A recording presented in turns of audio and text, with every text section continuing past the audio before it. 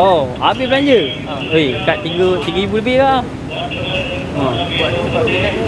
Oi, minat bang. Ini kira hobi. Ha.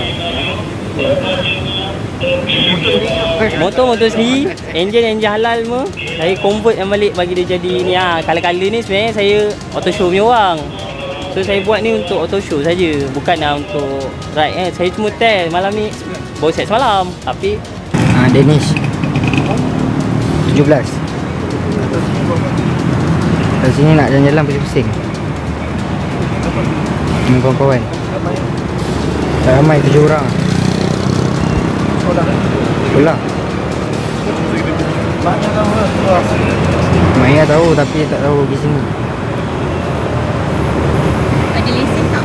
Tak buat lagi Dia buat sendiri ke? Buat sini Buat sendiri. Berapa habis? Tak kira um, yang walaupun kita biasa buat di Jalan Raja Laut dan Dataran Merdeka uh, kebanyakannya bukanlah uh, masalah yang berulang. I mean penunggang motosikal atau pemandu kenderaan yang berulang.